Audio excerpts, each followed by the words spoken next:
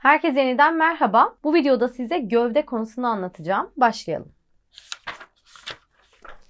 Şimdi gövde dediğimiz şey bitkinin genellikle toprak üzerinde yer alan kısmına verdiğimiz isimdir. Şimdi genellikle diyorum çünkü bazı bitkilerde toprak altında da gövdeler bulunabilir. Bunun örneklerini rizomda, soğanda ve yumru gövde gibi diğer gövde çeşitlerinde de görmekteyiz. Şimdi ben size genel olarak baktığımız zaman otsu ve odunsu gövde olarak iki farklı gövde anlatacağım. Ama bunun dışında sorularda karşınıza çıkabilecek farklı gövde çeşitlerinden de bahsedeceğim. Bunlar aynı zamanda TYT'de yani 10. sınıfta vejetatif üreme adı altında da anlatılabiliyor. Çünkü bunlar bitkinin vejetatif olarak da üremesini sağlayabilen gövdeler. Sürünücü gövde ya da diğer ismi stalon. Şuraya baktığınız zaman bakın beyaz beyaz biraz da açık renkte duran çok da beyaz değil ama açık renkte duran ince ince gövdeler var. Bunlara stalon diyoruz. Bunlar toprak üstünde yatay olarak ilerleyebilen ince gövdelere verdiğimiz isimdir. Rizom ise şurada görüyoruz. Toprak altında yatay olarak ilerleyebilen gövdelere verdiğimiz isimdir. Stolona benzer ama stolon toprağın üstündedir. Rizom ise toprağın altındadır ve stolon inceyken rizom kalındır. Şurada görüyorsunuz. Yani zencefilde gördüğümüz o taze zencefil yapısı aslında onun rizomu olmuş oldu. Yumru gövde var. Yumru gövde deyince aklınıza patates gelmeli. Çünkü rizomların biraz daha şişip şeklinin düzgünleşmesiyle oluşan gövdelerdir. Depolama amacıyla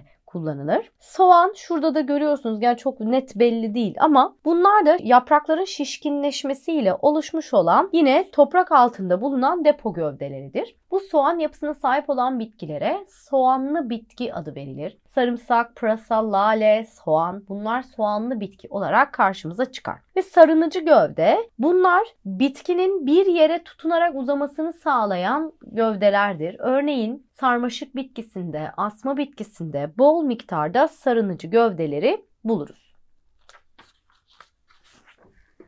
Şimdi gelelim asıl konumuzdaki gövde tiplerine. Bunlar otsu ve odunsu gövdedir. Otsu gövdeyi biz monokotil bitkilerin tamamında ve bazı dikotil bitkilerde görüyoruz. Bunlarda gövdenin en dışında örtü doku olarak epidermis bulunur ve epidermis ışık geçirebilen bir doku olduğu için alt dokusuna ışık geçirir ve bu sayede alttaki dokular klorofil taşıyarak fotosentez yapabilirler ve bu nedenle de yine klorofile sahip oldukları için yeşil renkli gövdeler olmuş olur. Ve ince gövdelerdir. Yani bir odunsu gövdeye göre oldukça incedir. Ki şurada görüyoruz. Şurada mesela şurada gövdeleri görebiliyoruz. Odunsu gövdeye geldiğimde ise dikotil bitkilerin bazılarında ve açık tohumlu dediğimiz kozalaklı bitkilerin tamamında gördüğümüz gövdelerdir. Bunlar büyük olanları ağaç, daha küçük olanları çalı formunda olan bitkiler olmaktadır. Bu bitkiler otsu bitkilere göre daha uzun ömürlü bitkilerdir. Birkaç yıllık değil,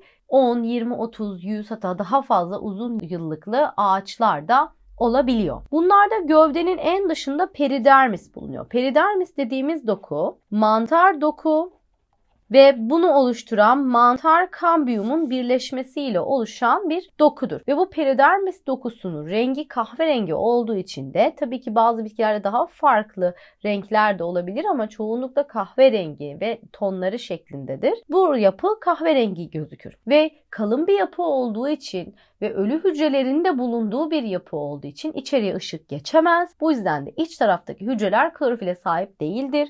Yani onlar fotosentez yapamazlar. Bunu da şuradan görebiliriz.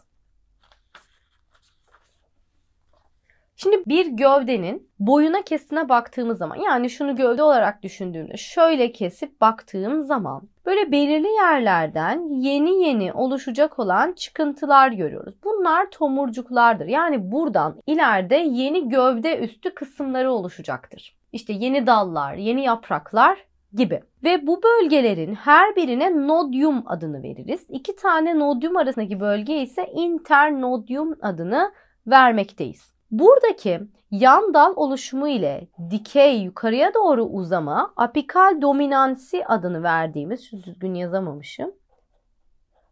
Apikal dominansi adını verdiğimiz bir olayla denetlenir. Bir bitkinin gövdesinin uzarken yan dal oluşturup oluşturamayacağı iki tane bitkisel hormonun aktivitesiyle olur. Bunları gene hormon konusuna geldiğimde anlatacağım ama oksin ve sitokininin miktarı bitki için önemlidir. Eğer oksin miktarı artış gösterirse oksin yan dal oluşumuna engel olur ve buna apikal dominansi denir. Eğer ki bitkinin sitokinin hormon miktarı yükselirse de o zaman apikal dominansi ortadan kalkar ve sitokinin etkisiyle yan dal oluşumu başlayacaktır.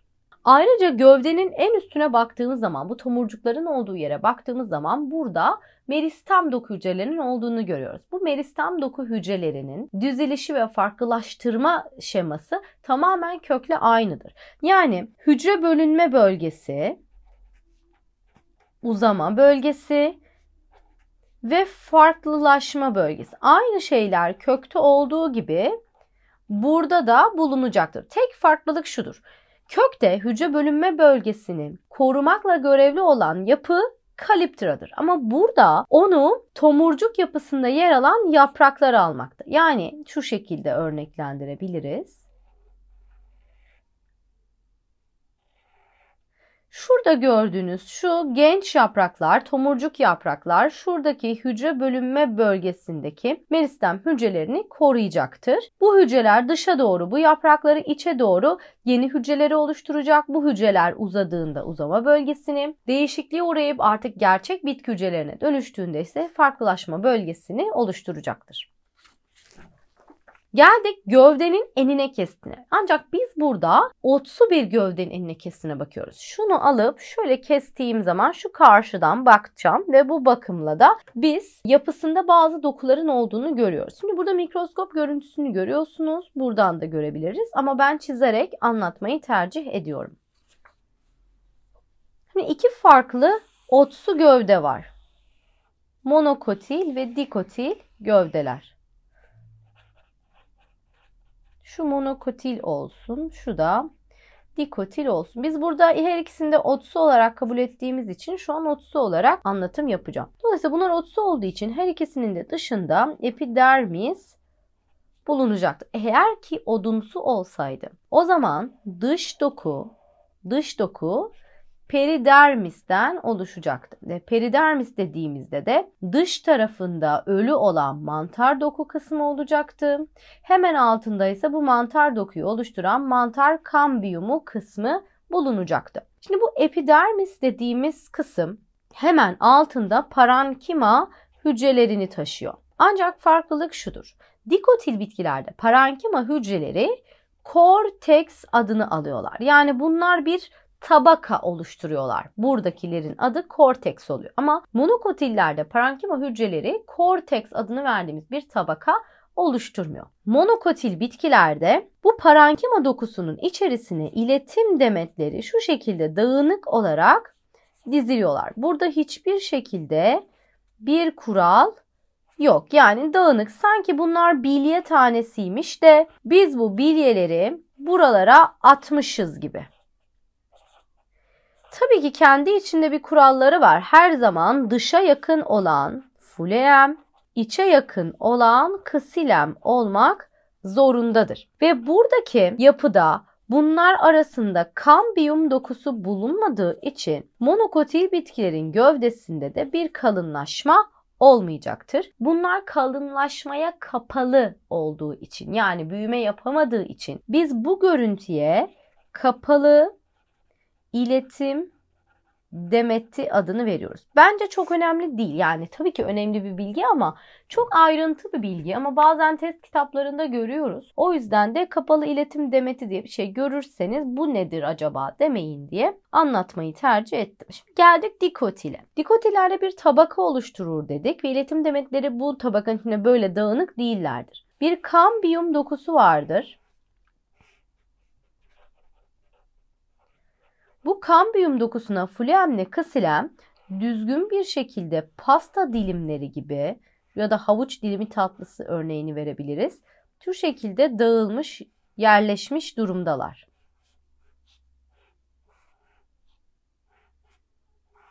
Çizemedim.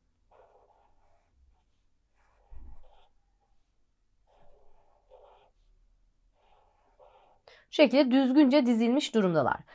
İşte buradaki şu ara mesafedeki dokuya biz cortex adını veriyoruz. Korteksin en içinde ortada kalan kısma ise öz adını veriyoruz. Oysa ki bu öz bölgesini bu tarafta görmüyoruz. Bunun dışa yakın olan kısmı gene fuleyemdir.